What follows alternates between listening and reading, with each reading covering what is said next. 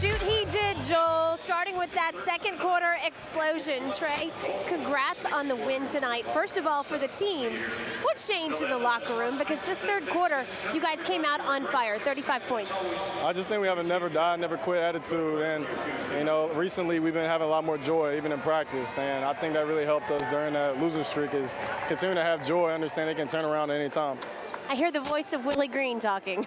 yeah, absolutely. Uh, defensively, it seems like y'all figured out some things in the pick and roll, especially against Ayton in that second half. Yeah, no, I mean, he's a dynamic roller. He gets in that short roll and he's able to hit the midi. That's a shot that he takes and makes a lot. And, uh, you know, we just had to find a way to stop him. For you, you got the party started in the second quarter, pulled that over to the third. Was it just a matter of getting warmed up? Just staying aggressive. I mean, everybody's been on me about staying aggressive, especially with BI being out at the time um, you know, that's 20 points missing, so we got to find a way to get that back. All right, Kings lost tonight, and at least at the moment, I don't want to jinx it, the Suns are going down.